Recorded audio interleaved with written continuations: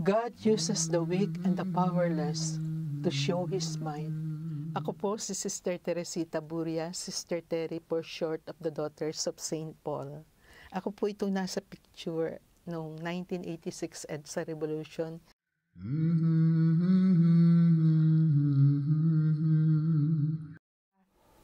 Ako ay Pilipino. Gusto ko yung ialay ko rin ang buhay ko para sa bayan.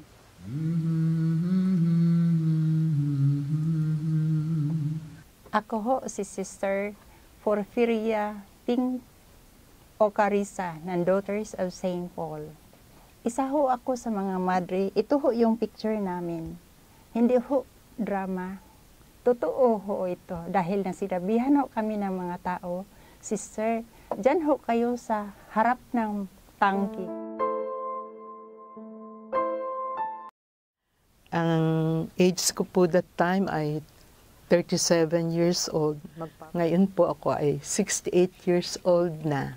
Senior citizen na. Pero nasa puso ko pa rin po ang diwa ng EDSA. Yung the time na humarap ho ako, 28 years old ho, third year junior profess. Tapos ngayon, senior na rin ho. Sabi nila, wala naman kayong asawa, diyan, diyan, diyan kayo sa harapan ng tangke. Alam mo na, na, na nasa isip ko noon, um, te, ang mga tao, walang takot na nasa likod namin. Kami naman mga madre na inialay namin ang buhay namin sa Panginoon. Sabi ko, sino kami para hindi uh, para hindi uh, mag magbigay sa kanilang pa, paun, uh, sa kanilang kahilingan na lumuhod sa harapan ng tangke. Yung noon na talagang takot na takot kami doon, yung humarap kami ng tangke. Kasi kung ano nga, mag-move yung tatlong tangke, ano, masagasaan kami. That time, ang iniisip ko kasi eh, hindi na yung sarili ko. Kasi nung pumunta ako doon, parang handa na talaga ako na kung ano ang mangyari, basta para sa bayan. Then sabi ko, Lord, nandito, kung nandito man ako sa harap itong tangke na to sa mga sundalo, kung mamatay man lang nga, hanggang dito, hanggang dito lang sa katawan namin dalawa ni Sister Terry.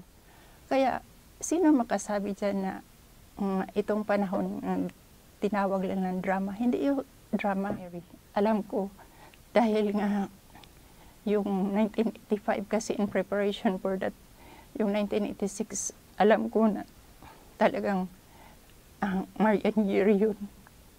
At saka, yung parang ang mga Pilipino prepared tayo sa ano, yung sa, yung sa hirap nga, yung, ano, hindi nga akalain magkaganon pala. Kaya sabi ko, ang presence of Blessed Mother.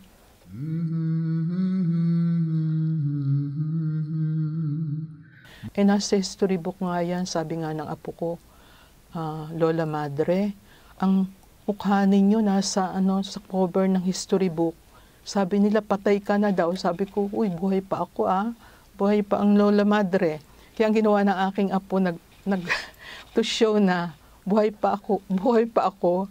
Nagpa-picture sa akin. Sabi niya, pakita ko, pakikita daw niya sa kanyang kaklase na si Lola Madre hindi history. Si Lola Madre ay buhay na buhay pa hanggang ngayon. Itinatanong ko sa sarili ko, bakit ako, bakit si Pingping? Ang dami naman diyang matapang-tapang na. Kasi sinabi nga ng mga redemptori, na mga redemptories, ah, hindi naman kayo nagsasali sa mga rally. Tapos, first time yung sumali, eh, na, na coverage agad kayo. Kami mga redemptor, te- terrorists. Pero kayo, first time lang. Iniisip ko rin, sabi ko, bakit nga, bakit nga kami? Uh, nasa isip ko, uh, it, gustong ipakita ng Panginoon, it is, hindi kami yon It is God's power.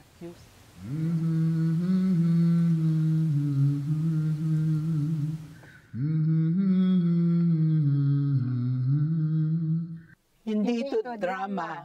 Totoo ito.